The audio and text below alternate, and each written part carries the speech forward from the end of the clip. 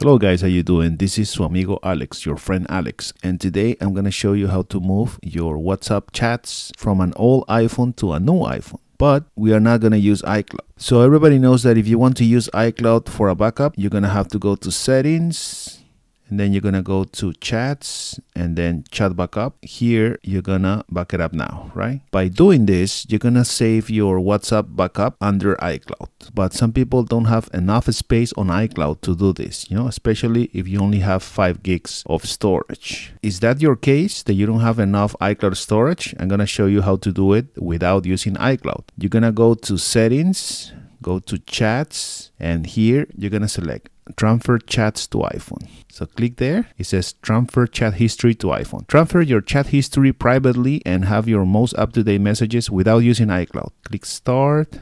Download WhatsApp on your new iPhone. So I have an iPhone 12 here and I already downloaded WhatsApp.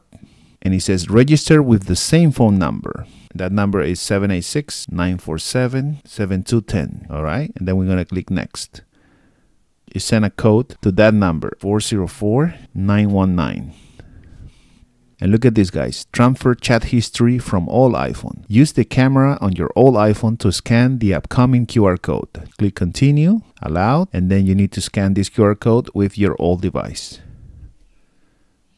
Right there WhatsApp would like to find and connect to devices on your local network. Click OK and then stay on this screen. Is transferring all your chats from your old iPhone to the new iPhone without using iCloud. Transfer complete. It says complete setup on new iPhone. Done. And here it says transfer completed. Your chat history and media are now available on this iPhone. Select next to continue. Click next. Allowed. And hopefully I'm going to have all my chat history. Yeah, right there. All the chats, guys. Absolutely all the chats. Specifically, I think it's this one. Yeah.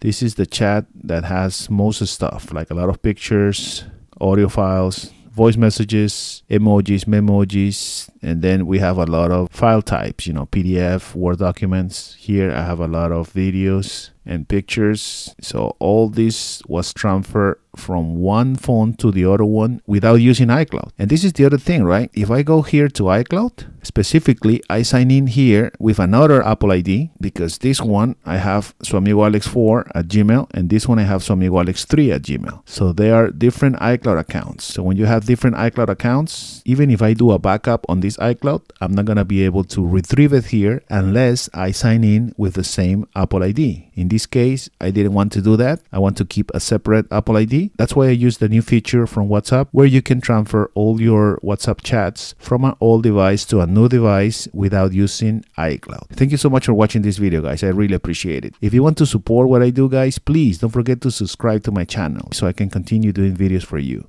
Thank you so much for your support and I'll see you on my next video. Take care guys. Bye.